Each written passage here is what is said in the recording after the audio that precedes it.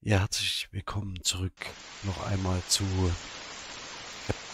ähm, wer das Let's Play bis hierhin verfolgt hat, weiß, dass es eine Frage gibt, die mich die ganze Zeit noch beschäftigt hat. Ich werde jetzt nicht das ganze Spiel nochmal durchgehen und alle Entscheidungen, aber ich würde sehr gerne wissen wollen, was es mit dem Tagebuch von Samoas Mann auf sich hat. Ich bin jetzt, jetzt zu dem Zeitpunkt zurückgesprungen, an dem wir gerade das Reinigungspulver hergestellt haben für den Boden, aber den Boden noch nicht behandelt haben.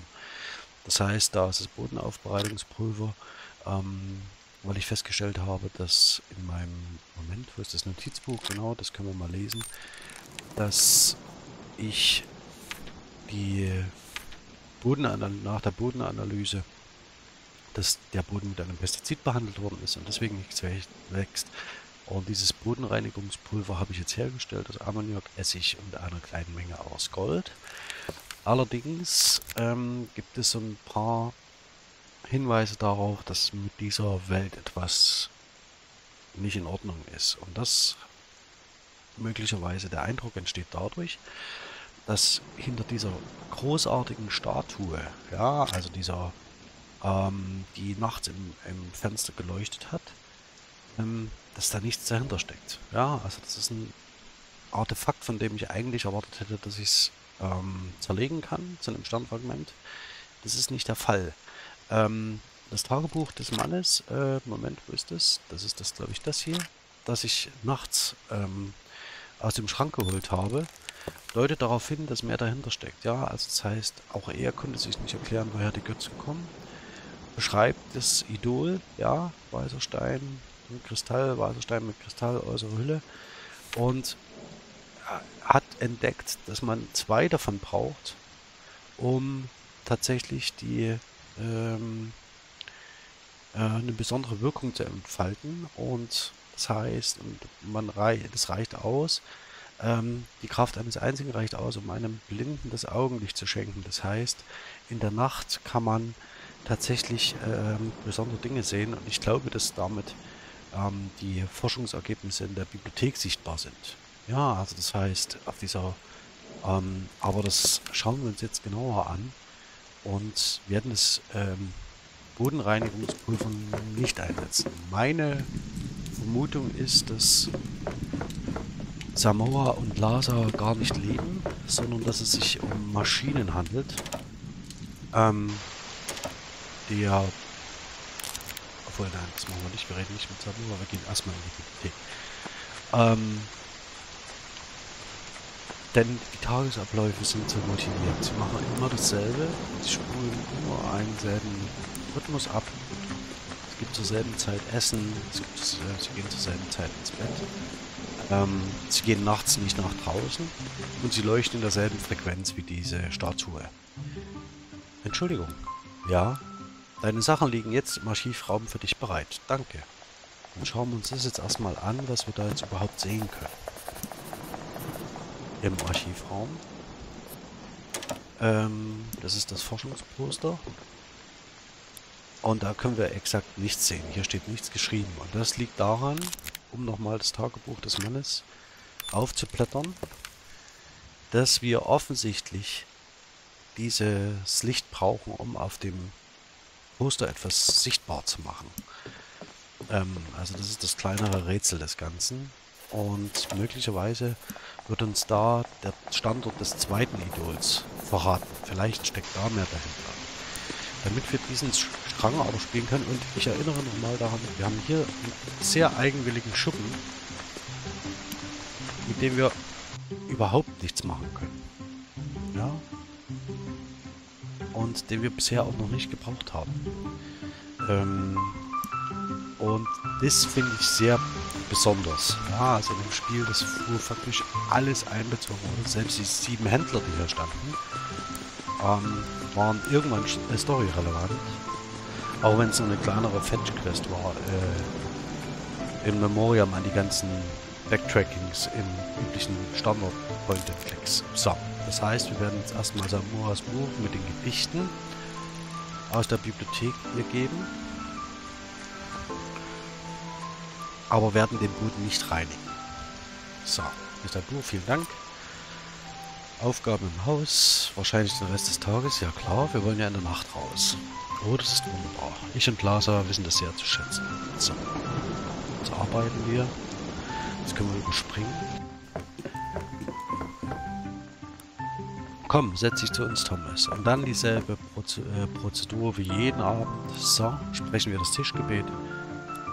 Segne dieses Essen und die Menschen, die es zubereitet haben. Wir freuen uns sehr, Thomas heute bei unserem Essen begrüßen zu dürfen und hoffen, dass er sein Gedächtnis bald wiederfindet. Jeden Abend dasselbe Wortlaut.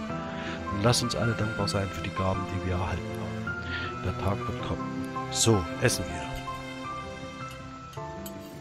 Vielen Dank für das Essen, Samoa. Gern geschehen, Thomas. Du hast ja dein Essen heute wirklich verdient nach all der Arbeit, die du geleistet hast. Nun ja, ich denke, ich werde jetzt mit dem Aufräumen beginnen. Und Lasa, Zeit fürs Bett. Das sind immer dieselben sprachlichen Muster. Immer dieselben, exakt dieselben.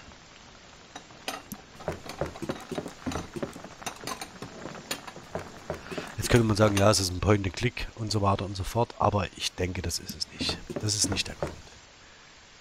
So, wir werden jetzt bitte... Nein. Ich möchte nachts aufwachen und in die Bibliothek gehen. Ja, das möchte ich. Der Captain schlief bald ein, da er von der vielen Arbeit am Tag sehr müde war.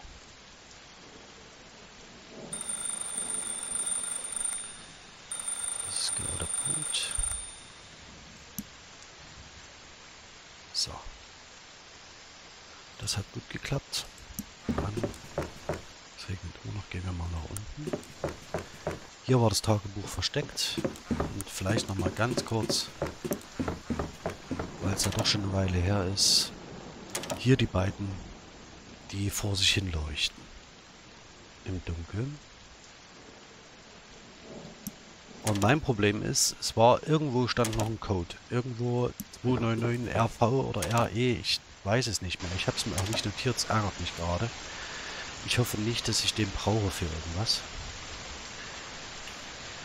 Ähm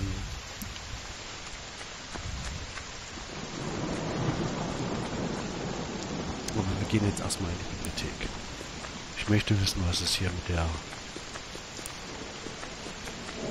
Fenton Pearls auf sich hat.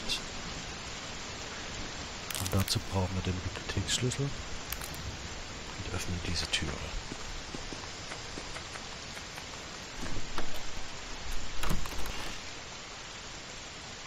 Halt, ist in dem Schuppen hier was?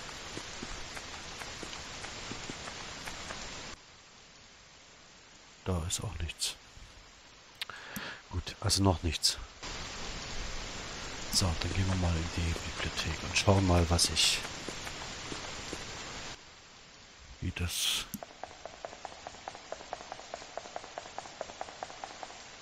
Nach meinem Archivmaterial. Und wie mache ich das jetzt? Ich nehme die Statue da drauf. Guck an. Das ist der Schuppen. Wow. Das Licht der Statue hat gerade eine Menge Text auf der Tafel enthüllt.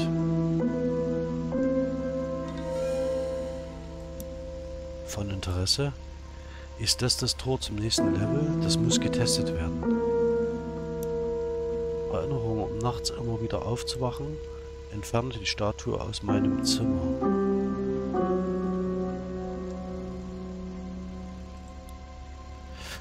Mit der nackten Haut Wasser berühren? Warum eigentlich? Am besten eine Schüssel mit Wasser neben dem Bett aufstellen.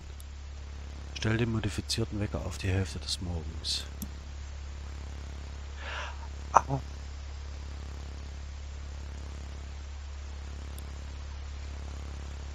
Die Statue muss aus dem Zimmer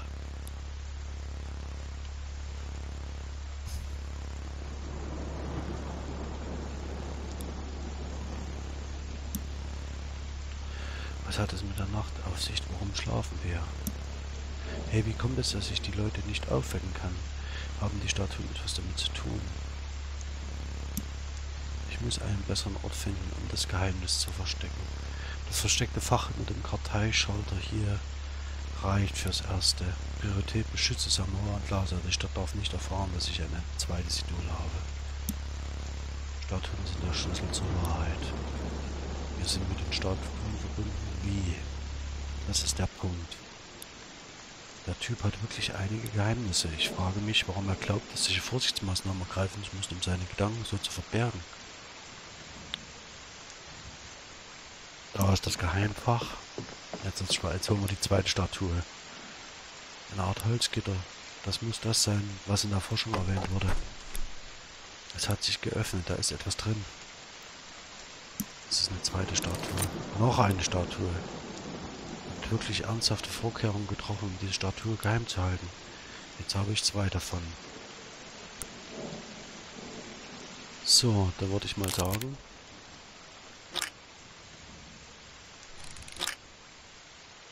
Kann ich die kombinieren?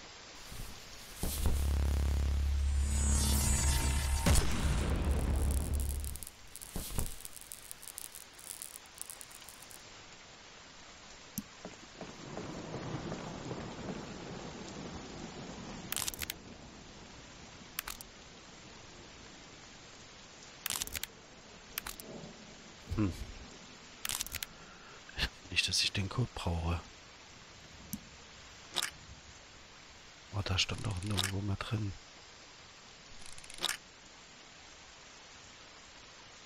Ich schaue hier lieber noch mal rein.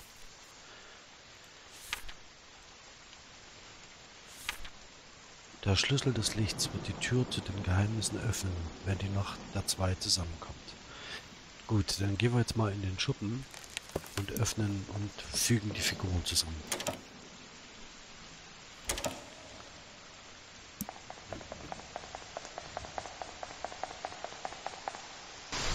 Er hat die Statue aus dem Haus entfernt. Das heißt, in jedem Haus steht so eine Statue und sie sind damit verbunden.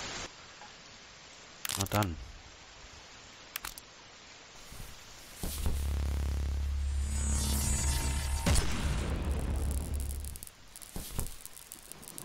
Ah, es passiert etwas.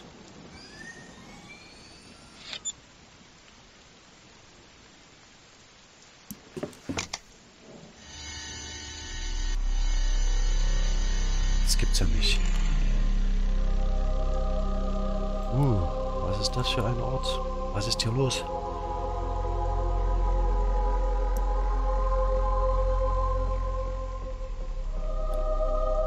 jedem Schritt, den ich mache, wird es seltsamer. Das sind sehr gut gemachte humanoiden Puppenteile, wie es aussieht.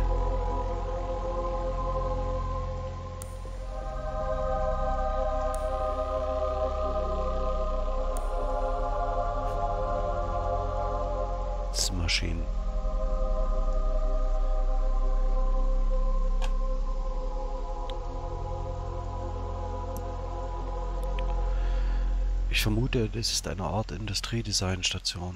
Auch hier gibt es mehrere Papierschemata. Und sie scheinen auch ortskategorisiert zu sein. Seltsam.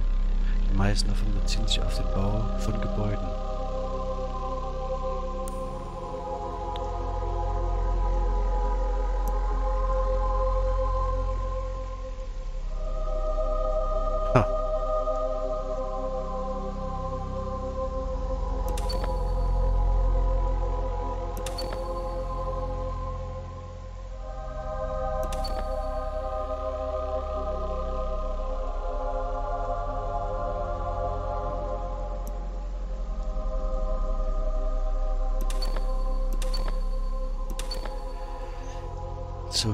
Vorstellt.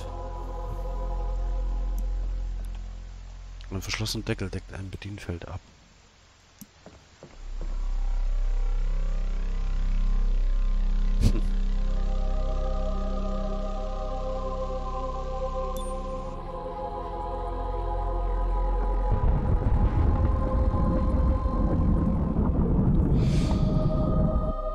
komplettes Experiment.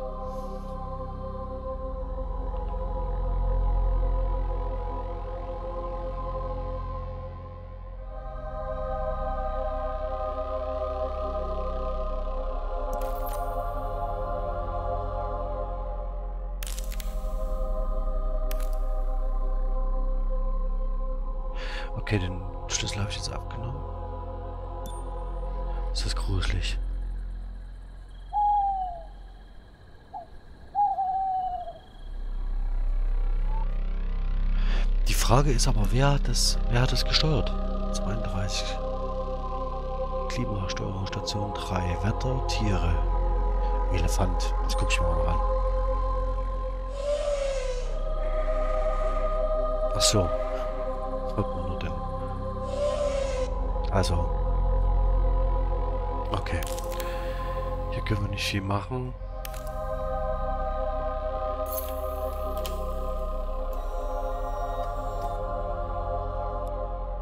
Simsalabim. Was ist das? Oh mein Gott, das ist so...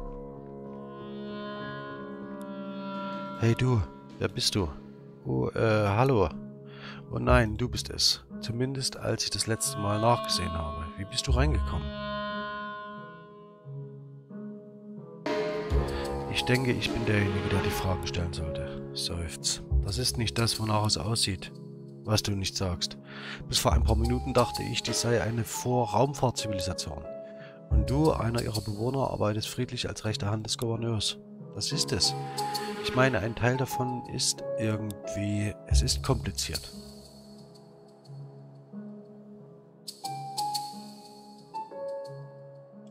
Weißt du, dass ich zur Space Fleet gehöre? Ja, das tue ich. Ich habe dein Schiff mit Kurzstreckenscannern erfasst, als du in Orbit kamst. Deine Regierungs Registrierungsmarker wurde von der Space Fleet ausgestellt. Warst du es, der mich geschlagen und meine Sachen gestohlen hat? Ja, das war ich. Aber ich musste es tun. Ich konnte dich nicht einfach frei herumlaufen lassen und alles ruinieren. Nun, hier bin ich und streife frei umher. Ja, das tust du. Ich brauche all meine Sachen zurück. Natürlich. Ich werde sie sofort holen. Ein Moment. Ich habe zunächst noch ein paar Fragen an dich. Du bist nicht von hier, oder? Nein, das war ich nicht. Limianische Abstammung hier. Geboren und aufgewachsen in den Vorstädten von Booth. Wie ist dein richtiger Name? Mein Name ist Bertie Birthwell. Woher wusstest du, wo ich landen würde? Ich hatte gerade den abgestürzten Satelliten geordnet, als ich dein Schiff in der Umlaufbahn entdeckte. Ich dachte, du wärst hier, um das zu klären. Warum hast du dich dann in meine Bergungsaktion eingemischt? Ehrlich gesagt, ich habe den Tromiumstab für meine äh, Studien gebraucht. Wofür ist die ganze Ausrüstung? Ähm, ja, die Ausrüstung. Äh, ich recherchiere gerade die Seufz. Was soll's? Ich kann es genauso gut alles verraten. Ich bin freiberuflicher Wissenschaftler. Mein Forschungsgebiet ist die künstliche Anthropologie. Und das wäre? Das ist die wissenschaftliche Untersuchung der künstlichen Intelligenz in Verbindung mit dem sozialen Verhalten von Gesellschaften in der Vergangenheit und Gegenwart. Das ist die Schaltzentrale meines Forschungsprojekts.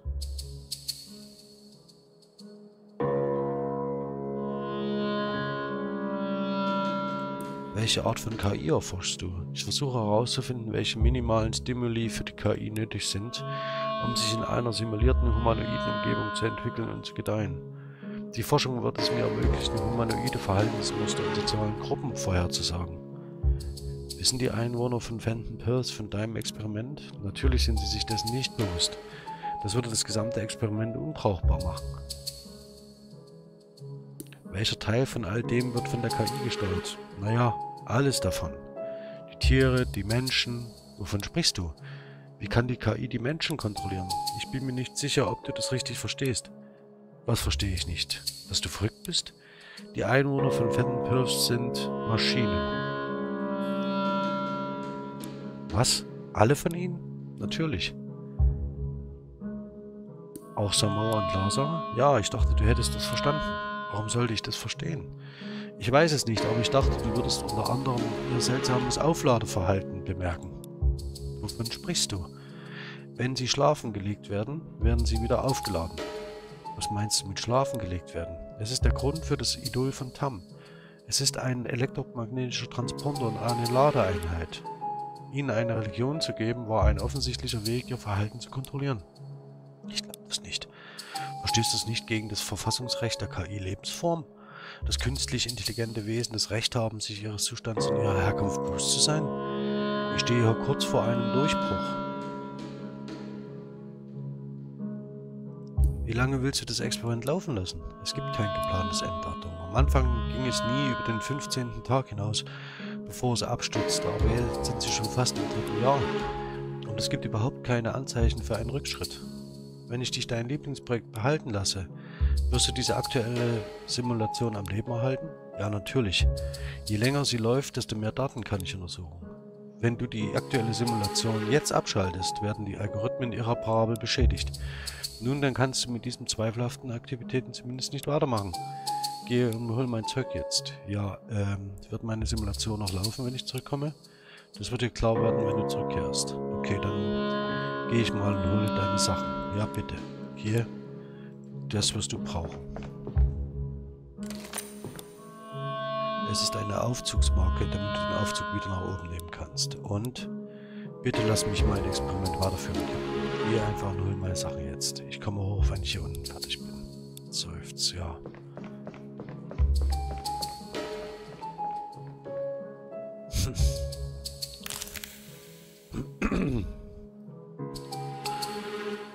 Passiert noch was, wenn ich die nochmal zusammenhalte?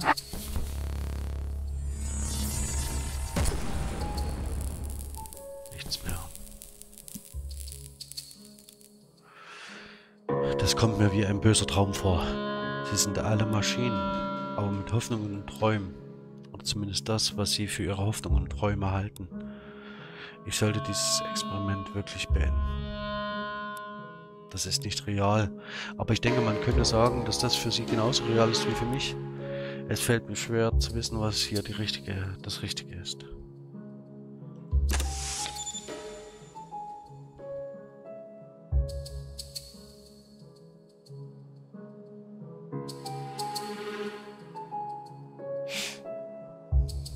Ach, da lauten sie.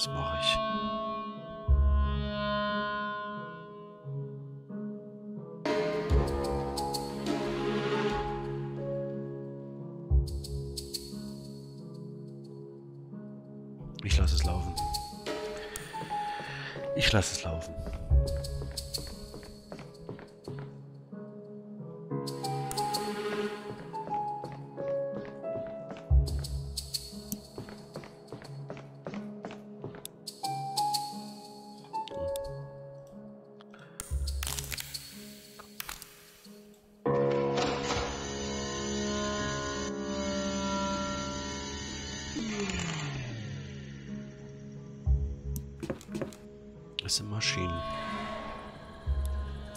Bitteschön. Es ist alles, was wir bei dir gefunden haben, einschließlich des Trommelstabs, den ich gelegen habe. Danke. Und jetzt lass mich hier raus, damit ich meinen Shuttle da runterlaufen kann. Äh, klar. Aber ich muss die Tore hinter dir abschließen, wenn du gehst. Kein Problem. Nun, das war's dann wohl. Ich habe meine Sachen zurück. Mal sehen, ob mein Armband noch funktioniert. Shuttle? Hallo? Könntest du jetzt runterkommen und mich holen? Wer ist da? Was meinst du, wer ist das? Ich bin es, dein Captain. Thomas, Thomas Wellmore. Oh Thomas, tut mir leid, es ist mir peinlich, aber ich hatte dich ganz vergessen. Ich bin müde, komm einfach runter und hol mich, okay? Ich bin unterwegs, soll ich bei deiner aktuellen Stelle landen? Nein, lande einfach an dem Ort, an dem du mich abgesetzt hast. Ich werde sofort dorthin gehen. Bestätigt. Der Captain kehrte zum ursprünglichen Landeplatz zurück, wo sein Shuttle auf ihn wartete. Ich habe mich nicht mal verabschiedet. Nachdem sie einige Zeit damit verbracht hatten, den Servicetisch zu backen, waren sie bereit zu gehen. Ich habe mich nicht mal verabschiedet von Samara. Rief Lauser.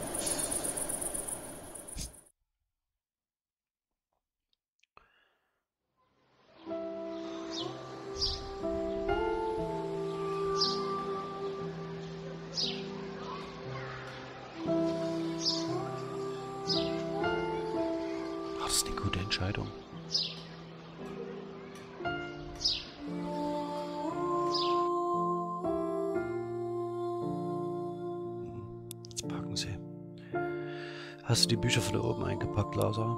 Ja, sie befinden sich in dem blauen Kasten neben dir. Das ist nicht das Ende der Welt, weißt du? Ich weiß, Mama. Wir werden jetzt ein viel größeres Haus bekommen. Seufzt. Ich kenne... Du musst dir keine Sorgen um mich machen. Willi hat es nicht so mit den Büchern, also dachte ich, wir sollten ein paar von unseren mitbringen.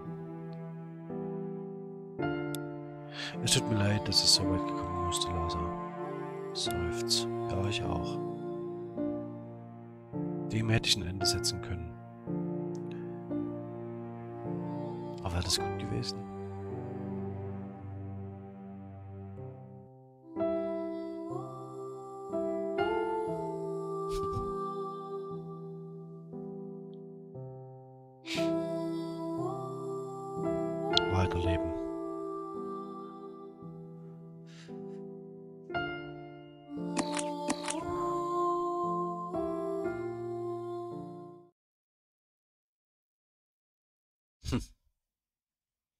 War schon sehr melancholisch.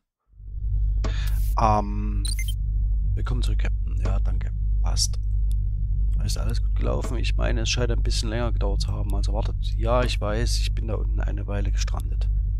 Ich habe es aber geschafft, das Stromium in die Finger zu bekommen. Das sind tolle Neuigkeiten, Captain. So, das gucken wir uns nochmal an, das Stromium.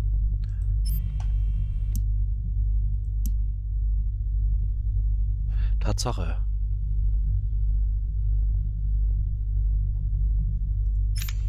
Also da bekommt man einen Thron statt äh, eines Sternfragments. Aber damit geben wir uns mal nicht zufrieden.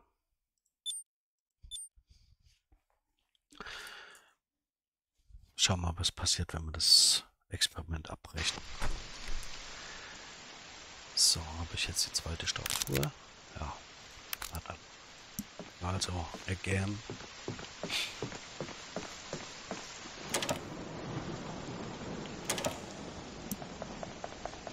Dann brechen wir das Experiment ab.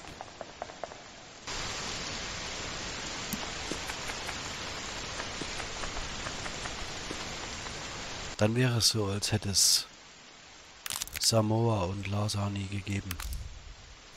Eigentlich auch bitter. Was will sie diesem Für was auch immer man sich hier entscheidet. Ja, es passiert etwas.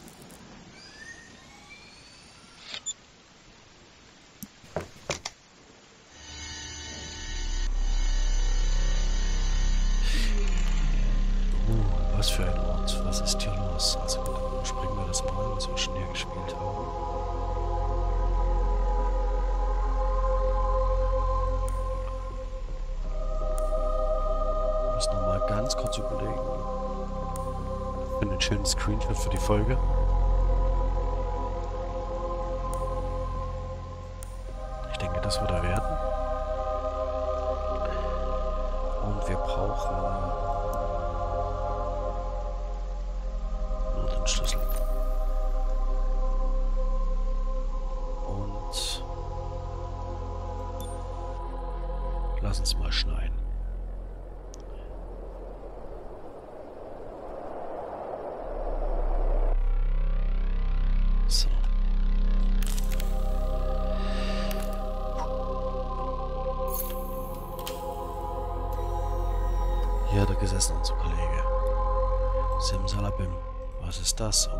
Das ist so.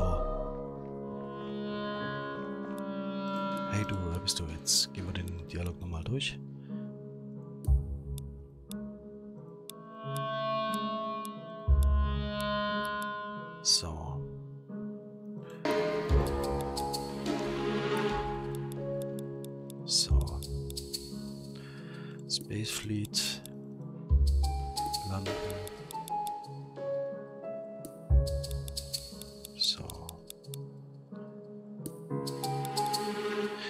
Darf es nicht. Ne? Also er darf nicht ähm, die KI nicht wissen lassen, dass sie eine KI ist.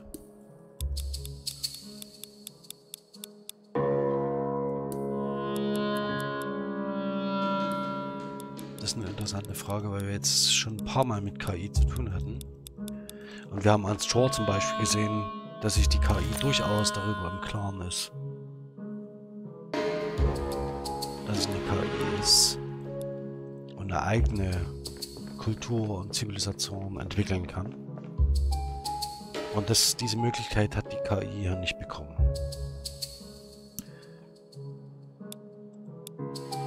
Das sind alle Maschinen, davon träumen. So. Gut, nun das war's, denke ich.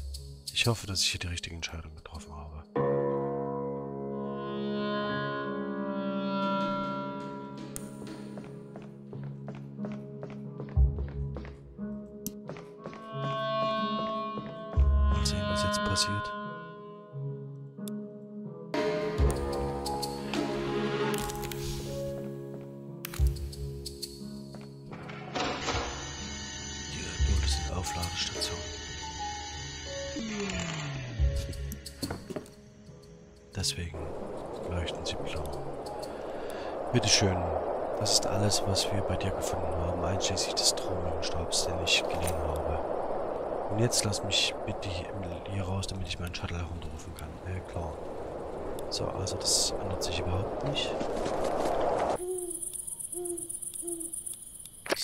Shuttle.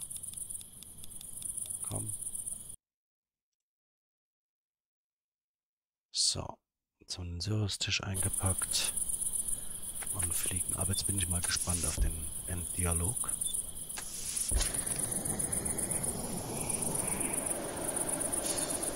Ist das gut, Samoa?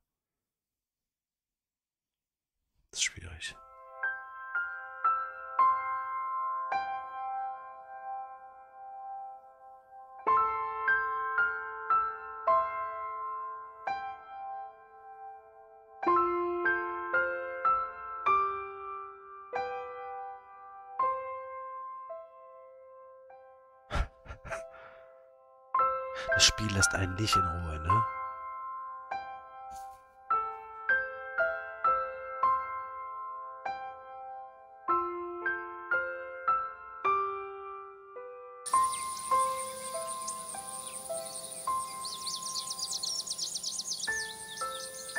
Oh, das ist bitter. Da ist Samora mit ihrer Tochter im Bett.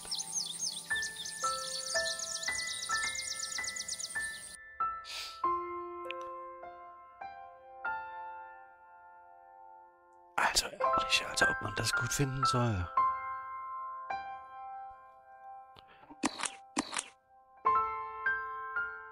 Ist nicht.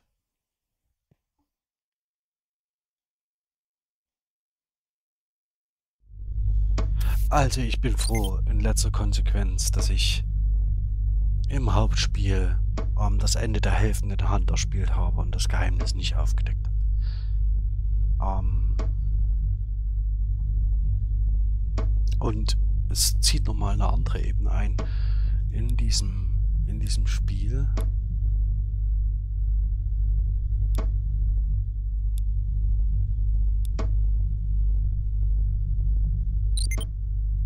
Das Chromium. Es sind noch mal ein paar andere Aspekte in diesem Spiel, in dieser Storyline. Ähm, das heißt, wir haben auf Fenton Perth äh, mit KI zu tun. Genauso wie wir äh, auf Soma mit KI zu tun hatten. Allerdings war auf Soma, äh, hatten wir uns für die Brennstoffzelle entschieden. Ähm,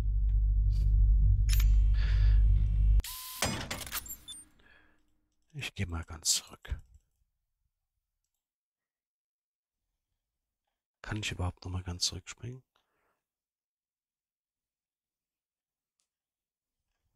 Ach, guck an.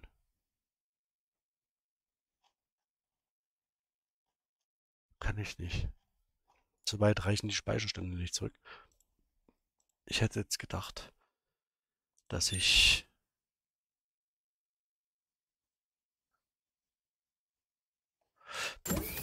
nochmal direkt nach Soma zurückspringen kann, um das alternative Ende zu zeigen von Straw. Aber wir springen mal ins Hauptmenü. um uns den Fortschritt anzeigen zu lassen.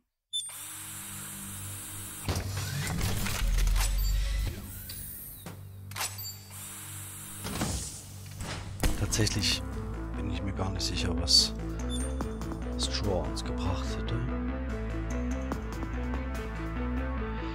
Ähm, vielleicht nochmal ganz kurz hier zurück die gefundenen Enden. Ähm, Paul 624, hier haben wir drei oder vier Wissenschaftler zurückgelassen. Ähm, Wildgedüss haben wir den Laser geborgen. Ähm, den Christ Kreon-Kristall Soma ist das bittere Ende gewesen mit Straw, also das heißt, wo wir uns gegen die KI entschieden haben. Epsilon haben wir zwei, drei Wissenschaftler zugelassen. Ähm, Xerum sind wir nicht gewesen. Ähm, schwerer Schatten ähm, lastet auf mir wegen des zerstörten Tempels. Ähm, als sie die Kräfte des Artefakts verloren, begannen die Greenfingers umzugehen. Das ist äh, eine Verantwortung, die ich trage. Ähm, Benton Perth bin ich sehr, sehr froh, dass ich im Storyverlauf ähm, Samuel gerettet habe. Ja. Das ist es gewesen. Der Captain. Ähm, ich hoffe, dass er mit dem